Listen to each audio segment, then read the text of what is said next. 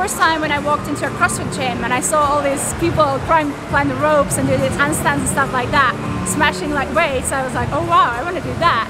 And then I signed up to my on-ramp and that's how my CrossFit journey kind of started. Want it easy, want it badly, but I can get what I want.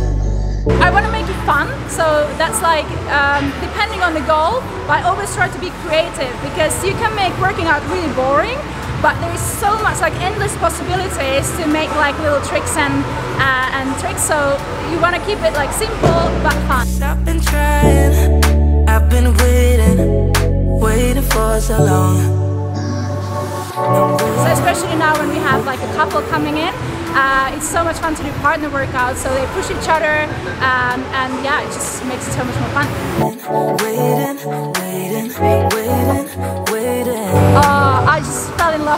island. Like the the minute I landed on the airport, I just knew, like I knew here, this is my home. I love the lifestyle. Everything is so easygoing. It's a good climate. People are just so happy. So it's super easy to be happy here.